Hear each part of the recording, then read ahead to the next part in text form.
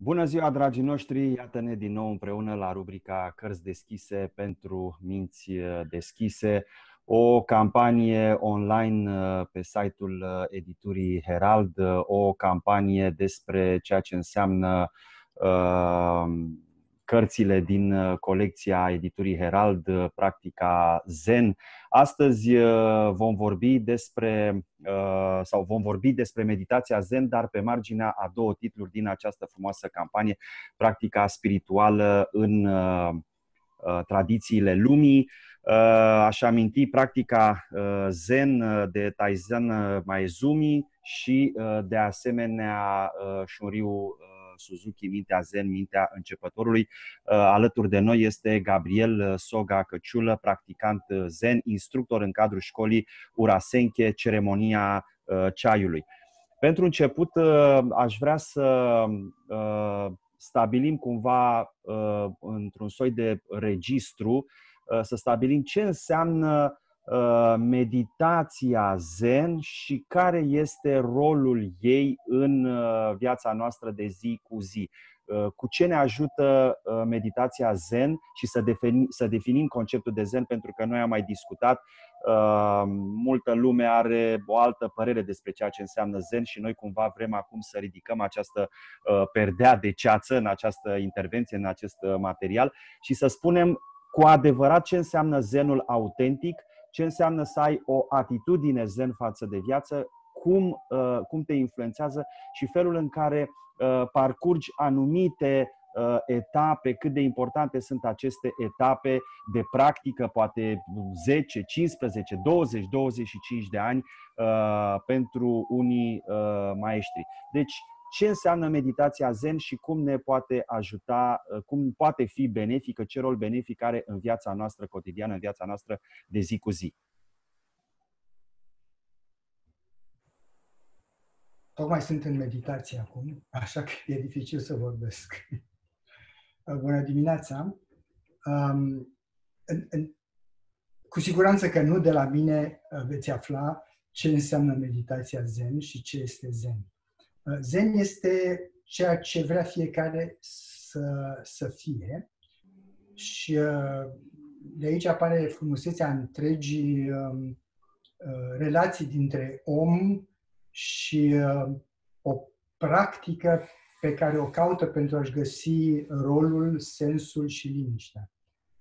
Um, eu uh, sunt practicant de ceremonia cerului și ceremonia cerului în forma pe care o, o, uh, pe care o folosesc pentru a învăța studenții este o formă axată pe, pe budism și în, în particular pe zen, uh, dezvoltându-se cam în aceeași perioadă și uh, practic este coloana vertebrală este zen. Um, în ziua de azi și întrebarea este ce înseamnă ceremonia celui, ce înseamnă zen astăzi. Um, întotdeauna au fost discuții despre zen, ceea ce arată uh, un singur lucru foarte clar, că discuția nu este felul de a înțelege, uh, de a face pași înainte în această filozofie, doctrină, teorie, tradiție, practică, cum vrem să o numim. Um, în ceremonia ceaiului, um, ceremonia ceaiului se practică pentru, fundamental, pentru a atinge o, no, să fiu corect și o să vorbesc foarte desenat pentru că nu pot să vorbesc uh, coerent despre ceva ce nu, uh, nu susține o discuție coerentă. Ceremonia ceaiului nu se practică pentru nimic se practică pentru că se practică. În clipa în care ai un obiectiv, uh, în clipa uh, aceea, ceremonia ceaiului se transformă într-o metodă pentru a atinge un obiectiv. Numai că în clipa în care definești obiectivul, întrebarea se pune, este obiectivul pe care l-ai definit obiectivul real sau este proiecția ta? Și de aici ne întoarcem la, la Zen, la formarea acestei practici uh, cu sute de ani în urmă și școlile de budiste și de Zen și în particular eu practic Zen în de-a lungul linilor uh, Soto, uh, sectei Soto, uh, și n-am nimic împotriva celorlalte secte, pentru că fiecare sectă, spun sectă, fiecare grupare are o poziție. Din asta este important. Dar Dogen a venit și a spus ce ne facem. Că dacă avem un obiectiv, nu avem de să știm dacă este obiectivul corect, deci cum practicăm vis-a-vis de un obiectiv pe care practic nu-l știm, pentru că îl vom ști când ajungem acolo. Um, Dogen a venit și a spus, toată lumea vorbește despre ființa uh, uh, sapientă, ființa uh, cu conștiință față de ființa fără conștiință. Este zen, buddhism, este zen valabil pentru ființa uh, conștientă sau pentru ființa neconștientă sau pentru ființa conștientă și neconștientă și orice.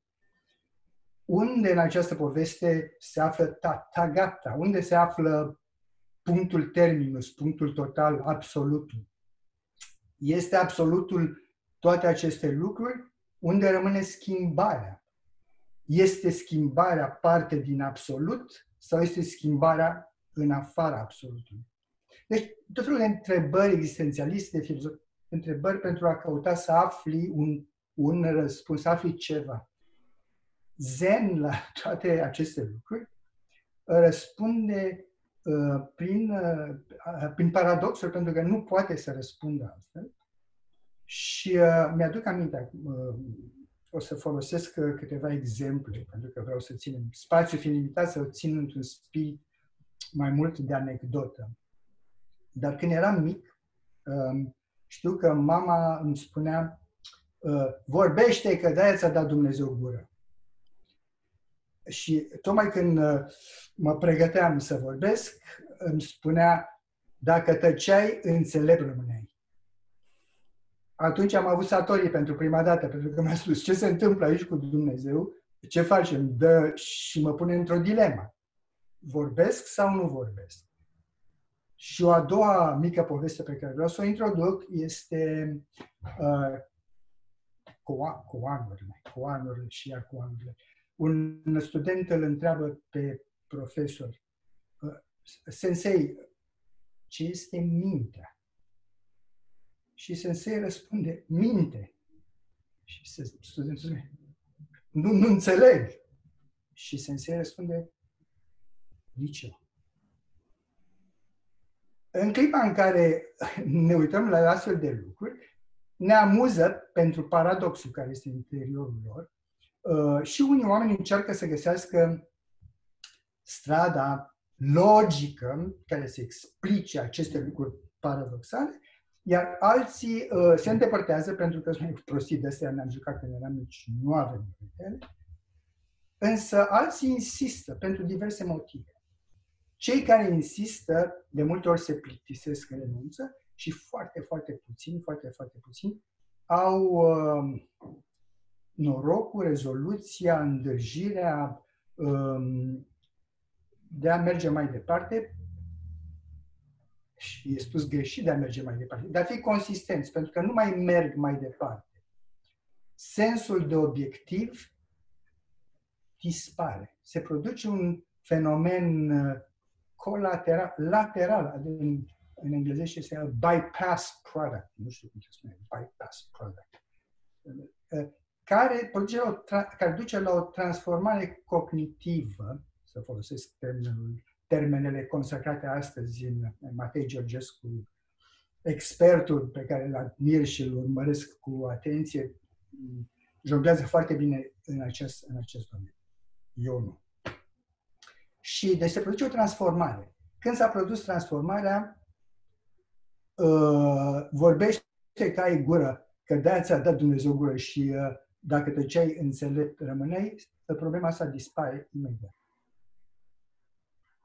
Zen este simplu despre faptul că studentul vine și spune uh, Maestre, ce este zen? și maestru îi spune, ți-ai mâncat bolul de orez de dimineață? Da. Du-te și spală vasele. Mai bine ca atât, nu pot să definesc um, să definesc, să caut să păcălesc lumea definind zen. Pentru că, în sine, când spui, du-te și spală vasele, și ce? Rămâne aici. Și totuși, ce am spus, stă perfect în picioare pentru a defini zen. Deci, care, e clar, nu încercăm să-l definim sau încercăm să-l definim știind că ne jucăm încercând să-l definim. Dar el e acolo, există. Întrebarea este de ce? Nu știu. Dar știu un singur. Practică și acel byproduct se va produce. Pornind de la uh, această minunată carte din uh, colecția Zen a editurii Herald, Mintea Zen, Mintea Începătorului și un Riu uh, Suzuki, uh, titlu aflat în uh, campania Practica Spirituală în diverse tradiții ale lumii, aș vrea doar uh, puțin să punctez uh, faptul că în cele patru decenii de la prima sa uh, publicare, Mintea Zen, Mintea Începătorului a devenit una dintre marile cărți spirituale moderne, Uh, foarte iubită de altfel, recitită și recomandată ca fiind cea mai bună carte de introducere în doctrina Zen. Uh, Shuryu Suzuki prezintă niște elemente de bază, de la detaliile posturii și respirației în zazen, până la percepția non-dualității într-un mod care uh, nu numai că se dovedește Uh, remarcabil, aș putea spune, de limpede, dar care rezonează totodată cu bucuria înțelegerii profunde de la prima și până la uh, ultima pagină. Uh, dincolo de această definiție, i-aș spune eu, o definiție umană. și de ce spun definiție umană? O definiție încercând să facem, să dăm această definiție, oarecum pe înțelesul tuturor sau pe înțelesul celor doritori să afle ce înseamnă de fapt uh, zen, ce înseamnă meditația zen, ce înseamnă mintea începătorului, da? ce înseamnă mintea aspirantului către uh, învățăturile doctrinei uh, budismului uh, zen, aș vrea să ne ducem puțin și în zona aceasta de, pentru că decorul pe care tu ni l-ai pregătit este unul cu totul și cu totul uh, extraordinar, remarcabil. Ehm, deși este un uh, decor dintr-o sală de uh, curs, dintr-o sală de uh, ceremonie. Cât de important este și aspectul ăsta, hai să-i spunem, ehm, exterior, pentru că eu cel puțin văd lucrurile pentru o meditație, trebuie să te pregătești. Da? Apropo de uh, mintea limpede și am uh, Cred că cu Matei Georgescu am uh, vorbit despre treaba asta. Uh, parcă el a venit cu acest exemplu. Dacă nu mă înșel, uh, mintea limpede, mintea senină și profundă, apropo de o altă carte a lui Dalai Lama, ne imaginăm seara luciul apei în care se oglindește luna și se vede perfect ca într-o oglindă, da? Și în momentul în care iau o piatră și arunc, piatra, să spunem, reprezentând gândurile, da? vedem luna printre valuri, vedem luna distorsionată, adică o realitate uh, distorsionată.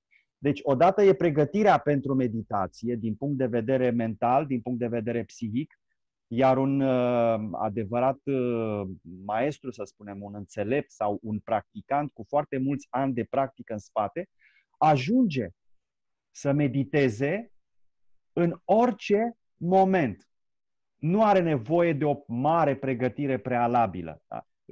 E într-un moment. E ca și cum ți-ai face rugăciunea. Domnule, este ora la care trebuie să-mi fac rugăciunea. Că ești musulman sau că ești creștin, nu contează. În cazul musulmanului, mi-am luat covorașul, mi-am întors fața către Meca, am început să mă rog. La fel poate face și creștin. Deci nu trebuie neapărat un anumit cadru. Dar în, în contextul dat există și uh, acest cadru, să spunem, exterior. Uh, obiectele m-aș feri să le numesc obiecte de cult. Așa îmi vine în minte în momentul de față. Dar sunt, există o recuzită. Da? Cred că recuzită ar fi termenul cel mai corect. Există o recuzită pentru, pentru meditația zen și apoi există uh, foarte important ce spuneam puțin mai devreme și ce menționează și Shunryu Suzuki în uh, Mintea Zen, Mintea Începătorului, postura. Cât de importantă este postura, da? Cu spatele drept, apoi respi- picioarele bănuiesc în poziția lotus sau există și alte forme în care ții picioarele. Și după aceea partea aceasta cu respirația. Respirația mie mi se pare esențială pentru că noi o considerăm un dat ca și mersul pe jos. Noi nu suntem conștienți de faptul că, da, eu merg, da? Eu merg și atât, bun, sunt conștient că eu merg. Dar mi se pare ceva atât de firesc, atât de normal, cum ar fi să nu merg. Nu-mi pot imagina lucrul ăsta, așa cum nu pot imagina cum ar fi să nu respir. Dar lucrurile astea sunt foarte importante. Să, să, să, să fii conștient, și aici mă duce cu gândul la mindfulness, să fii conștient, atenția conștientă de faptul că eu în momentul ăsta merg și nu merg, mă gândesc la cine știe ce și dau cu uh, pantoful în bordură și cad, da? pentru că mintea mea era în altă parte și nu eram atent la actul mersului, cum nu sunt atent nici la actul respirației, care pentru sănătate este foarte important. Ai scris jos toate punctele astea că nu le țin minte, dacă e să mă fac să, să răspund la fiecare în parte. Mi-au venit um, din minte și dacă e te mai ajut. Perfect. În primul rând, în spațiul unde mă aflu acum este la mine în apartament, unde am amenajat o cameră specială, este cameră pentru ceremonia ceai. Și în această cameră practic și zen. Deci e lucru diferit. Zen, pentru zen ai nevoie de nimic, ai nevoie de, o, de un zabuton, ai nevoie de uh, o pernuță, adică o, ce, ceva pe care să stai și uh, de grupul cu care practici. Uh, este bine să se practice în grup.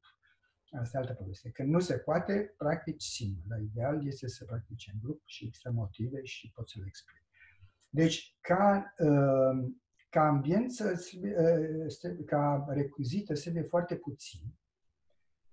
Zen, se, zen, meditația zen și ce mai este și asta meditație deosebită, se poate practica oricând, dar e pur și simplu, uh, e ca uh, un, un pahar uh, pe care un chelner îl aduce și pune vin.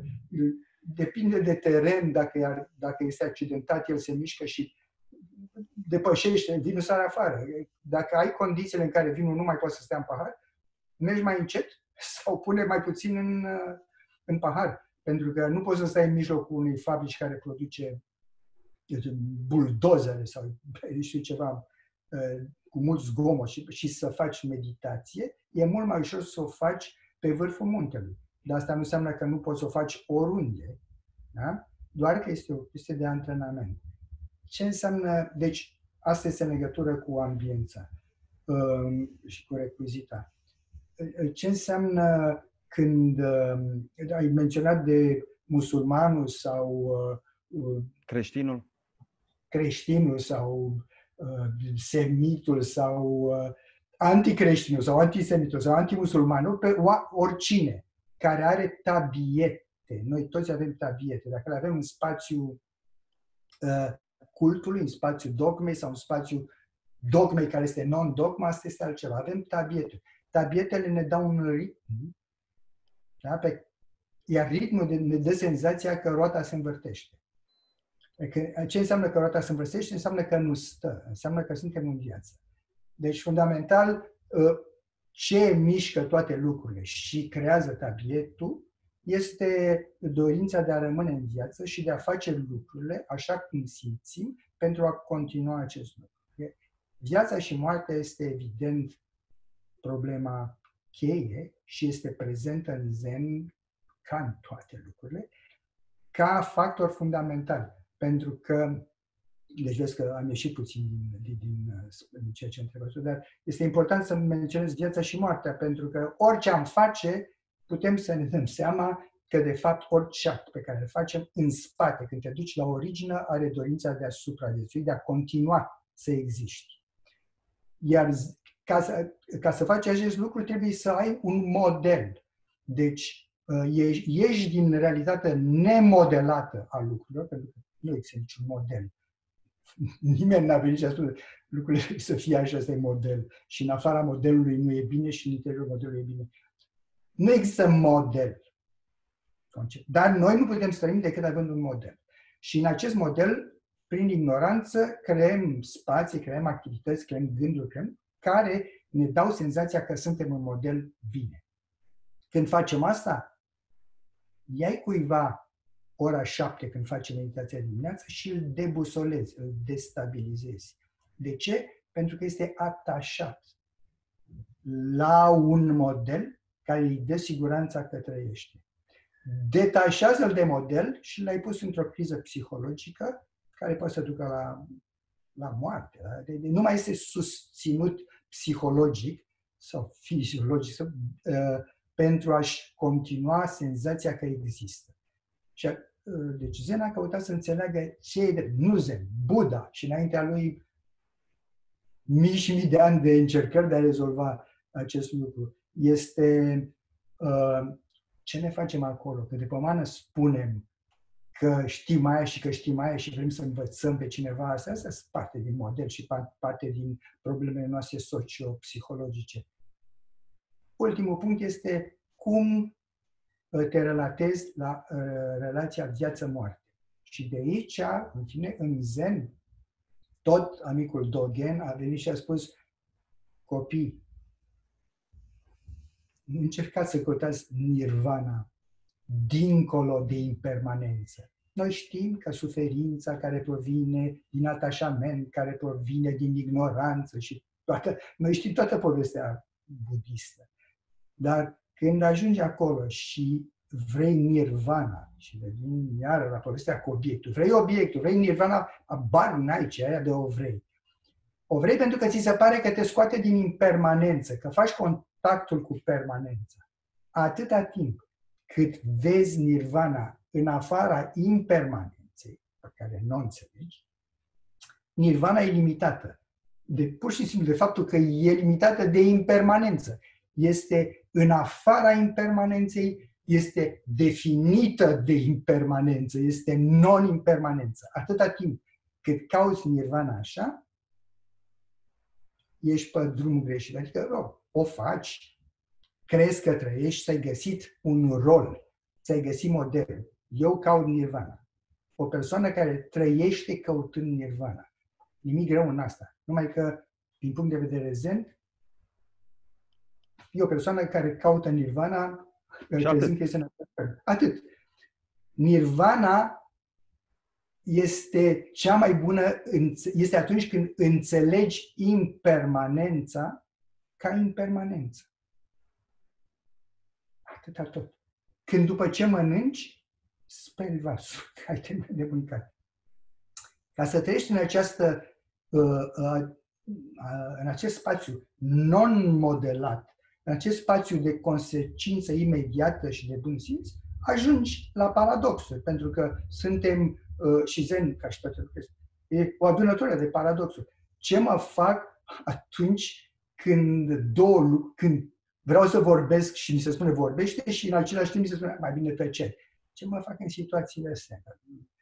De, de care, ca să înțelegi ce te face în aceste situații, ai două posibilități. Să o iei pe partea logică și poți să vorbești ca mine toată viața de pomană, nu de pomană, cu același rol cu care, uh, uh, pe care, slavă Domnului, îl au cărțile sunt acolo pentru a-ți deschide curiozitatea. Atât. Nu pentru a-ți transmite înțelepciunea. Pentru a-ți deschide curiozitatea pentru a căuta. Deci, mergi să cauți rațional sau practici ceva, în cazul ăsta ceremonia cearului sau Uh, uh, sau practică de zen, meditația uh, zazen și, și incantața de, de, de, de poziții, de practica zazen, practici ceva și nu cauți. Lași lucrurile să se întâmple. Și când se întâmplă ceva, acel, dacă acel produs se manifestă în timp, de ști cum să negociezi fără un scop situații care par imposibile. Ești trimis la război, te duci, nu te duci. Ești în fața unui dușman care e un om și îl omori, nu îl omori. Ce se întâmplă cu mintea? Încep să-ți consolidezi mintea să zici trebuia Sau îți faci harakiri pentru că spui, da, trebuia, dar eu nu sunt uh, persoana care să facă asta, l-am omorât și mă sinucid. Sau ce e de făcut în momentul acela? Când rezolvi acele lucruri, dacă crezi că le rezolvi cu mintea, bonjour, atâta lor.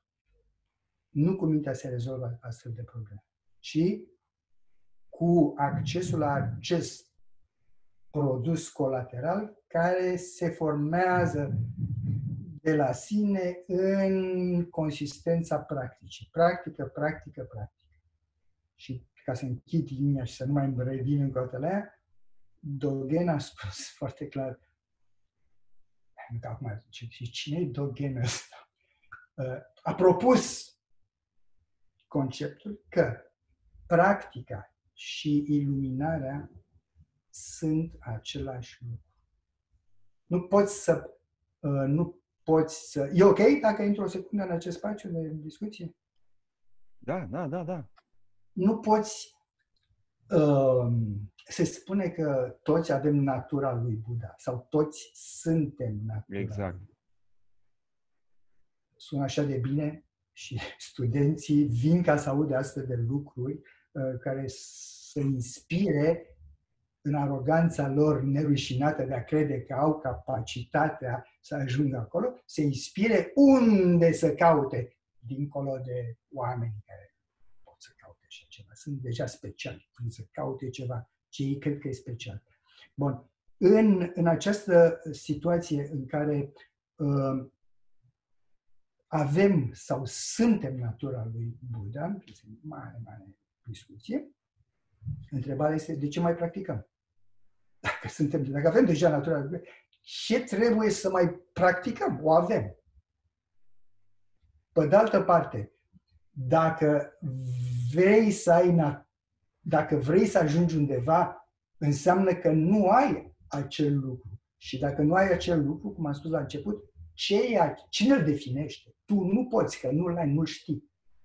Deci apar niște lucruri care nu se închid în ideea de a practica către un obiectiv, în ideea de a fi iluminat sau de a munci să obții iluminarea, de a fi iluminat inițial, doar că nu conștient, și de a, de a munci. Și propunerea pe care o, o, o sugerează Dogen este, da, nu veți găsi niciodată răspuns la așa ceva, pentru că este necognoscibil, este, este prin natura lucrurilor, această întrebare este, nu există.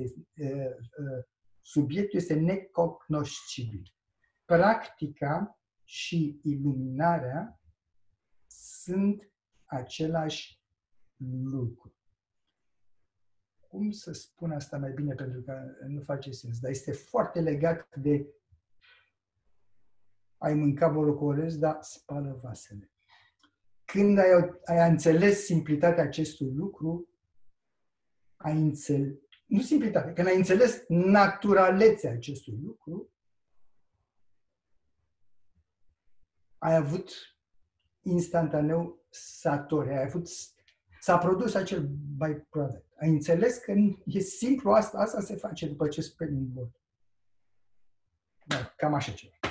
Da, asta, uh, comparația asta mi-a plăcut foarte mult pentru că, de fapt, uh, uh, asta mă duce cu gândul la un alt paradox. Zenul este simplu, este extrem de simplu și în același timp complex. În sensul că noi, ca oameni, prin natura noastră umană, de cele mai multe ori avem tendința, așa cum foarte bine ai dat exemplu cu Nirvana, avem tendința de a căuta fericirea, de a căuta iluminarea, de a căuta ceva cu totul și cu totul special în afara noastră. Da? E acea căutare permanentă. Eu caut ceva. În momentul în care încetezi, de fapt, să mai cauți și în momentul în care uh, vii cu, aceast, cu acest exemplu atât de frumos, ai mâncat uh, bolul corez, du-te și spală vasele. Sau uh, uh, curtea uh, unde suntem noi și medităm și așa mai departe, uh, într-un templu. Da? este plină de, de frunze, ia mătura și du-te și fă acest lucru. Da? E, alea sunt de fapt, în, în, până la urmă mă gândesc că în asta constă și de asta este ceva simplu, dar oamenilor li se pare paradoxal, pentru că întotdeauna oamenii se așteaptă la ceva wow, nirvana, ceva cu totul extraordinar, nu știu, mă duce pe un drum fascinant. Nu, ei, ei nu-și dau seama că de fapt esența tuturor acestor lucruri stă în, în simplitatea lucrurilor mărunte, mici, care trebuie făcute. Pentru că... E punctul meu de vedere. Bine că te-ai apărat. um, um, e foarte neconvenabil, mi îmi plac cuvintele astea, confortabil și convenabil. Astea sunt forțele care ne mișcă înainte. Dacă vrem confort și conveniență, dar nu despre asta e vorba. Este uh, foarte neconfortabil și neconvenabil să accepti Păi așa eram și înainte să caut. Adică poți să spui ceva nou, că asta făceam și până acum.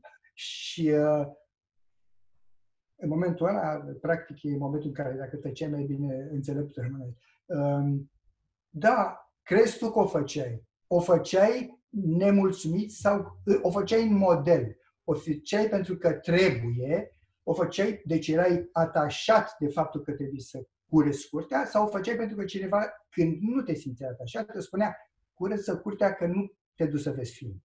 Deci fie sub restricție, fie sub obsesie uh, de, de, de, de tabiet, de rutină. Nu o făceai cu normalitatea că frunzele se adună și firesc să le dai la deoparte și că așa merg lucrurile. E, când accepti lucrul ăsta ca, cu deziluzie, cu, când accepti, n-ai făcut niciun pas, ești doar obosit sau bătrân. Când înțelegi, te minți, pentru că înțelegi rațional. Deci nu accepti, nu poți să înțelegi. Ce să facem, Doamne? Ce să facem? Dacă nici așa se poate, nici așa nu se poate, spun corect. Practic. Și acel lucru se întâmplă când deodată nu e nimic mai firesc decât Bun, am terminat.